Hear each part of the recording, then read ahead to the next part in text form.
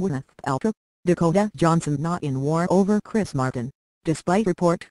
Gwyneth Paltrow and Dakota Johnson are not in any kind of war over Chris Martin, despite a tabloid report.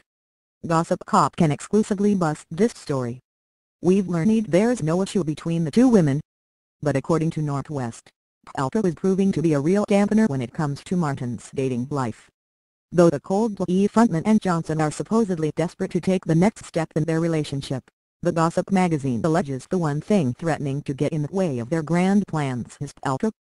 It specifically claimed she isn't exactly welcoming the Fifty Shades Freed star into her and Chris's modern family. Chris was hoping Gwen would warm to Dakota by now and allowed her into their close-knit circle but that's not going to happen, the so-called close friend of the actress is quoted as saying. This purported source goes on to assert, if you ask me, Gwyneth has no plans of budging anytime soon either. Contends the outlet, in fact, Gwen has apparently put a blanket ban on Dakota attending any get-togethers that involve her or her and Chris's kids. As a case in point, the publication alleges Paltrow didn't invite Dakota to join them on their family vacation in Antigua over Christmas, claiming Johnson was instead forced to spend the holidays apart from Chris with her mom Melanie Griffith in Aspen.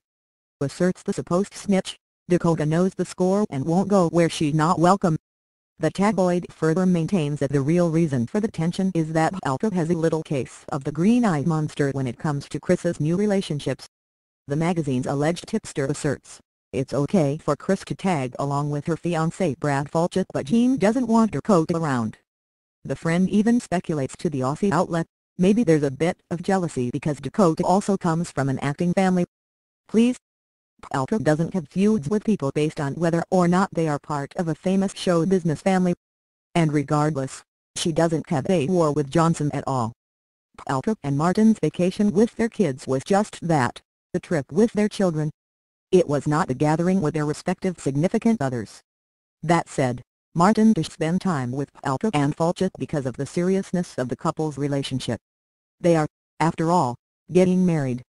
In contrast, while Martin and Johnson are slowly becoming more public with their dates, their relationship is still relatively new and blossoming.